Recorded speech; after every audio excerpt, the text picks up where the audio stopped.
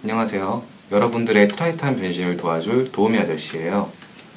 그럼 지금부터 트라이탄을 자동차로 변신시켜 보도록 하겠습니다. 먼저 Z와 X를 본체에서 분리를 시켜주고요. 다음으로 이제 Z와 Y를 분리를 시켜주는데 이때 Y 그 허벅지 상단에 있는 버튼을 이렇게 위로 눌러서 Y를 빼줍니다. 반대쪽도 버튼을 눌러서 Y 빼주고요. 이렇게 자동차로 배신할 준비를 마칩니다. 자 그럼 먼저 X를 자동차로 변신시켜 보도록 하겠습니다. X를 자동차로 변신시킬 때는 먼저 팔을 90도로 안쪽으로 회전을 시켜준 다음에 팔을 위쪽으로 지켜주고 덮개를 열어서 주먹을 안쪽으로 이렇게 넣어줍니다. 다음에 이 팔 부분에 있는 이 부분을 접어서 만들어주고요. 반대쪽도 마찬가지로 회전시킨 다음에 덮개를 열고 주먹을 넣고 닫아주고 팔을 접어서 네 반대쪽도 이렇게 완성을 시킨 다음 시키, 시킵니다. 그 다음에 팔을 이렇게 접어서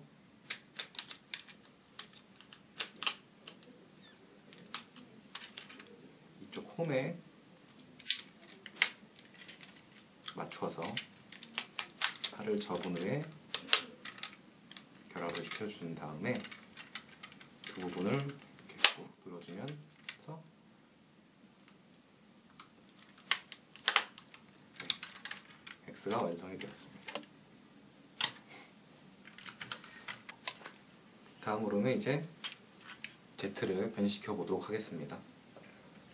Z를 변신시킬 때는 먼저 어, 트라이탄의 귀를 뒤쪽으로 젖혀주고요. 다음에 덮개를 열어서 머리를 넣어줍니다.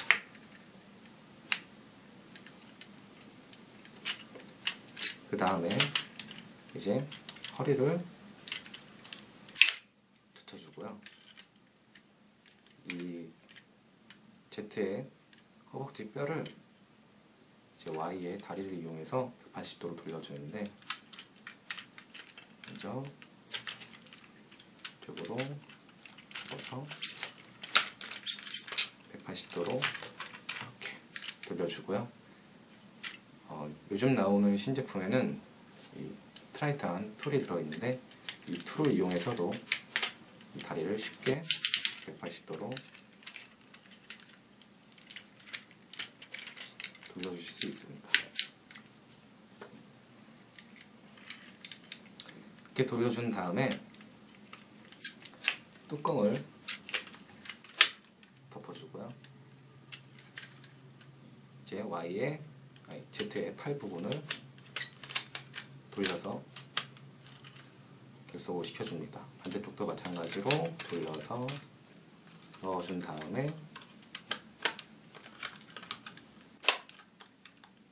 꽉 들어맞도록 이렇게 해주면 이렇게 Z가 완성이 됩니다.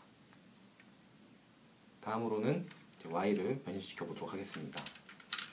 Y를 변신시킬 때는 먼저 허벅지를 안쪽으로 꾹 눌러주시고 덮개를 이 홈에 맞도록 결합해서 네, 잘 닫아주고요.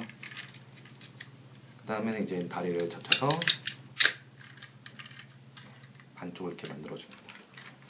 그 다음에 이제 반대쪽도 마찬가지로 허벅지를 꾹 넣어서 안쪽으로 넣어주고요. 덮개를 잘 덮어주고 이렇게 다리를 접어서 이렇게 반대쪽도 만져주시면 이 둘을 이렇게 결합을 해서 아이를 완성합니다. 자, 이렇게 세 대의 변신을 모두 마쳤습니다.